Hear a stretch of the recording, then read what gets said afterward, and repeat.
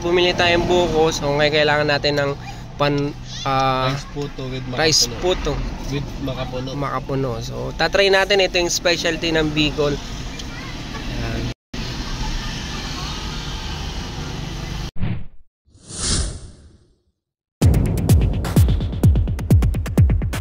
Ah, Dito tayo sa Ligaw Albay. So nag-stop over tayo. Ah, bumili tayo ng rice puto. Ito yung specialty ng Bicol. Yan, rice puto with makapuno. Yan, so mga brother, ayan. So, so ganito niluluto yung ating binili.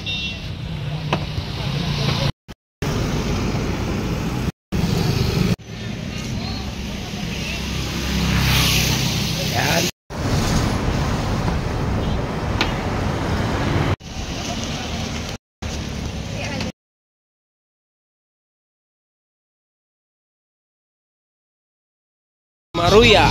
Maruya.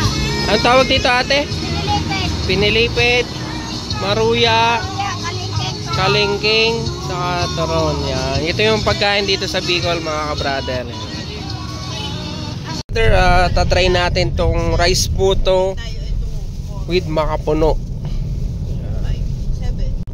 So mga brother, ang sarap pala nitong ah, rice puto with makapuno. So sa Batangas wala nito eh.